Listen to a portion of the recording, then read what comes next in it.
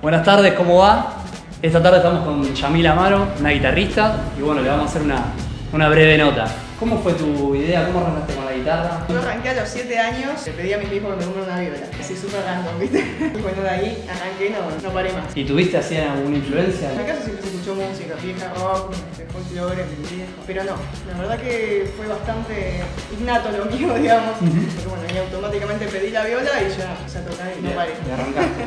no paré más. ¿Y actualmente qué estás haciendo? Y actualmente, mira, bueno, hemos pasado por varios proyectos. Sí. Eh, bueno, entre ellos el GT Girls, también con María Sol Quintas, con Karina Alfi. Bueno, hemos hecho muchas presentaciones en vivo. Hemos tocado, hemos hecho una girita también. Seguramente por ahí este año o el otro, algún otro G3 vamos a hacer. Ah. Siempre está latente ahí.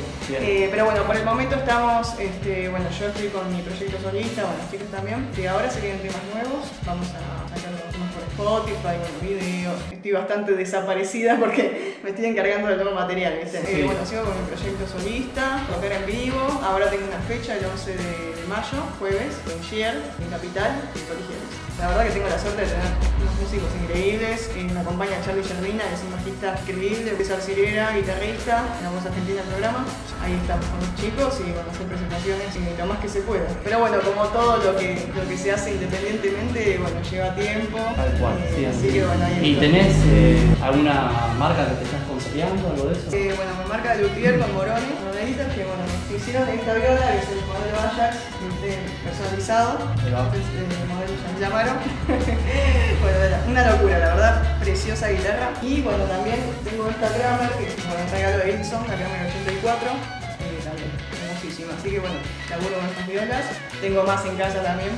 Pero bueno, se me estaba haciendo bastante difícil dar todas. Claro, sí. Sí, así que bueno, igual son las que más uso y las que uso en vivo también cuando, cuando voy a tocar. Eh, y bueno, también estoy con AA, Pedalbox, que también tienen los bolsos preciosos, preciosísimos. Eh, así que bueno, ahí de todo un poco. Y bueno, manejando un poco todo este tema. Seguir siempre en el ruedo y, en la escena musical. Y bueno, por suerte, apoyo de, mucha gente, la gente que va a, a en vivo.